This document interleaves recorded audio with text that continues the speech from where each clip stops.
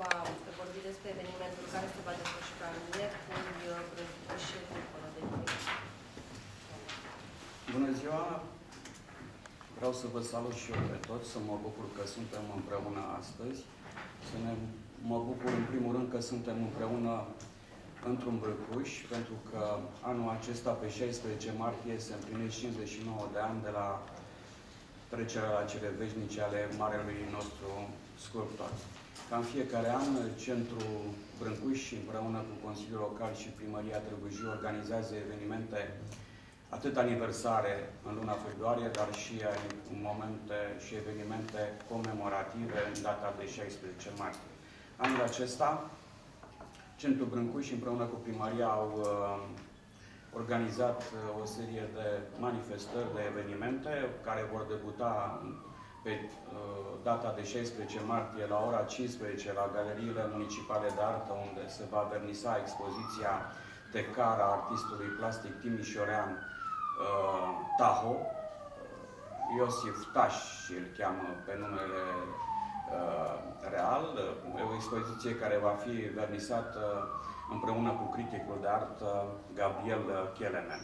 De asemenea, tot în ziua de 16 martie, la ora 19, la complexul Ana Evans de pe Insuliță, va fi o prezentare a filmului uh, creat de, Cornel, de regizorul Cornel Mihalache.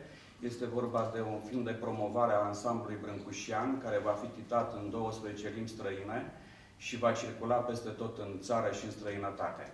De asemenea, de la ora 19 uh, va avea loc uh, un eveniment uh, foarte interesant din punctul nostru de vedere, susținut de artistul Grigore Leșe. Este vorba de un concept artistic al Mihaelei Vosganian, unde invitați va fi, așa cum spuneam, Grigore Leșe, Cristian Lupeș, dirijorul Cristian Lupeș, actorul Mihai Nițu, grupul de muzică și dans contemporan Interact și quartetul uh, Pasione. Vă citesc, coregrafia este asigurată de Liliana Iorgulescu, proiecția video Mihai Cucu, iar intrarea pe care, intrarea la acest eveniment va fi făcută pe bază de invitații Profit de faptul că suntem împreună și așa cum uh, vă transmiteam și în comunicatul de presă anterior, invitațiile pentru acest eveniment se găsesc la Centrul Brâncuș, la Centrul de Informare a Cetățenilor la Primăria uh, Târgu Jiu.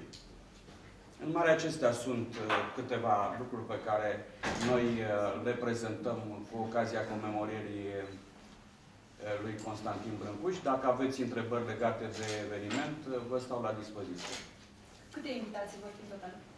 Noi am tipărit 800 de invitații. Sperăm că uh, aceste invitații vor fi epuizate și că sala va fi plină la eveniment. Cât costă întregul eveniment? Evenimentul costă în jur de 5.000 de euro, după câte... Tot ce este în acea zi, nu? Da.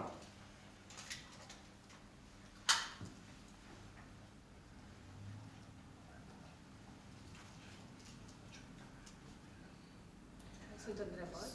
Ehm, dacă ați ajuns la o concluzie după studiul făcut în toamnă, cred, de Institutul de Optoelectronică, ce, în ce condiții sunt, se află ansamblu și dacă există un program de, dacă aveți cunoștință de un program de restaurare a Mă bucur întrebarea dumneavoastră, Mă- deși nu e tema conferinței de astăzi, am să răspund, uh, am să răspund. Sigur, suntem în permanentă legătură cu Institutul Național de Cercetare în Optoelectronică. Săptămâna trecută am fost la Ministerul Culturii, unde am avut o întâlnire cu consilierea Ministrului Culturii pe tema uh, întreținerii, conservării și protejării ansamblului Brâncușian. Am, info- am informat Ministerul Culturii cu toate datele prelu- prelucrate până acum de Institutul Național de Optoelectronică. Așa cum știți, au trecut două etape doar de când, uh, uh, din acest proces complex de cercetare științifică a ansamblului brâncușian. Am solicitat Ministerului Culturii înființarea unei comisii prin lege și vreau să subliniez acest lucru, este uh, prin legea unei comisii speciale Brâncuș alcătuită, pluridisciplinar alcătuită din specialiști în restaurare, piatră, metal, biologi, geologi, chimiști, uh, care să analizeze toate aceste date și care în cunoștință de cauză să poată decide o strategie în urma căreia să se poată face un calendar al intervențiilor asupra ansamblului brâncușian. Am informat Ministerul Culturii și pe Ministrul Culturii cu, tot, cu, tot ce, ce, cu toate datele tehnice culese de către Institutul Național de, de Electronică. Mi s-a promis că în următoarea perioadă de timp va exista o întâlnire mai complexă, în sensul că vor fi mai multe prezentări făcute pentru ca specialiștii atât ai Ministerului Culturii cât și ai Institutului Național al Patrimoniului să poată fi în cunoștință de cauză și să ia deciziile cele mai bune în uh, privința uh, intervențiilor sau posibilelor intervenții care, uh, de care ansamblu ar avea, ar avea nevoie. Vreau să vă spun și subliniez treaba asta. Nu cred că va trebui să mai acționăm în mod amatoricesc în ceea ce privește ansamblul brâncușian. Se face o cercetare de profunzime cu un institut al Ministerului Cercetării, Uh, toate datele vor fi puse la, uh, la dispoziția Ministerului Culturii și Institutul Național al Patrimoniului, celor mai buni specialiști pe care are România în acest moment, pentru ca ei să poată să decidă soarta acestui ansamblu. Da, cum se prezintă o degradare vizibilă, mai ales la culoare? Eu n-aș, m-aș pronunța să spun că este vorba de o degradare. Cred că este vorba, într-adevăr, de afecțiuni pe care le cunoaștem cu toții, Uh, în special în zona operelor de piatră, atunci când plouă, operele se umplu de, de noroi datorită pietrișului și... Da, trebuie să vă spun în același timp că speranța noastră și uh, demersurile pe care le face Primăria Târgu Jiu în acest moment pentru obținerea fondurilor necesare pentru a demara uh, proiectul de amenajare a căilor erorilor poate fi o soluție și poate cea mai bună soluție în momentul ăsta pe care o avem pentru amenajare și pentru a putea ca în timp astfel de lucruri să nu mai fie nici vizibile. De asemenea, vreau să vă spun că asta ca o informare vă fac, uh, am primit, suntem în discuții cu Institutul Național de Cercetare în Optoelectronică pentru două chestiuni importante din punctul nostru de vedere, și anume uh, montarea unor stații și a unor senzori de monitorizare a tuturor operelor pentru a ști foarte exact în orice moment ce se întâmplă cu noxele, cu uh, chestiunile care țin de vânt, ploi, îngheț și așa mai departe. De asemenea, cu un sistem de senzori de perimetrizare care uh, să limiteze accesul celor care, într-un fel sau altul, adresează operele.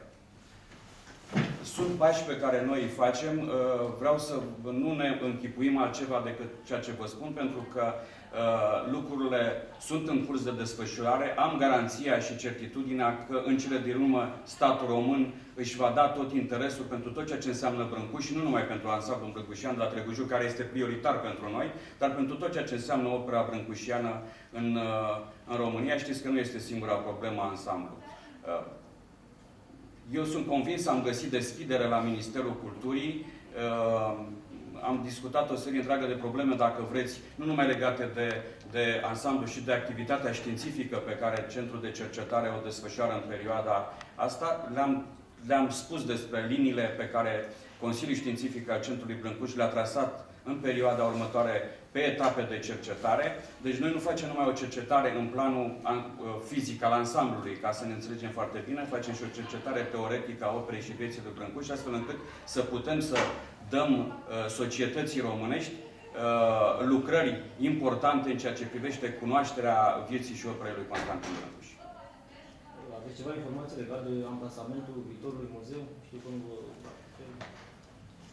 Sigur, nu cred că sunt eu cel mai în măsură să vorbesc despre lucrul ăsta, dar tot din discuțiile purtate la Ministerul Culturii știu că dintre cele două locații propuse, nici una nu este agreată de Ministerul Culturii. Casa Gănescu uh, este agreată de Ministrul Culturii doar în sensul că acolo ar putea să fie uh, posibilul uh, sediu administrativ al muzeului. Nu știu dacă s-au luat o decizie în acest sens. Cu siguranță există discuții, înțeleg, între autoritatea locală și uh, Ministerul Culturii privind o posibilă locație de amplasare a acestui muzeu. Unde anume? Nu știu deocamdată. Uh, varianta de la coloana fără de sfârșit, în parcarea aceea? Nu știu care este situația acolo.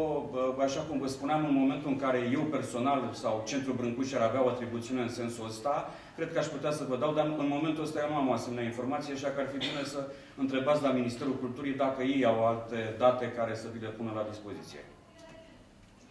Spuneați de niște senzori care să limiteze accesul la opere, adică nu mai poate nimeni să vină în contact cu operele?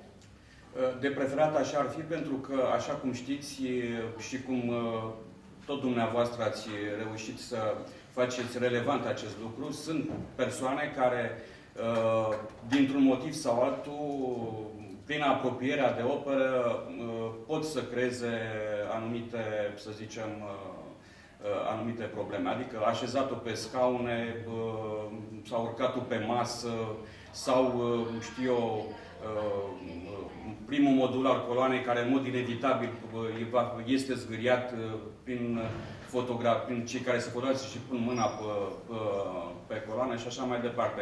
Eu cred că asta ar fi o treabă și de, de civilizație și de mare bun simț din partea tuturor, în sensul că acești senzori nu, s- nu, nu, nu agresează pe nimeni, doar atenționează asupra faptului că se află în perimetrul unei opere de valoare ine- inestimabilă, protejată, și cred că asta ar putea, la un moment dat, să creeze o bună deprindere pentru cei care vizitează Târgu Jiu.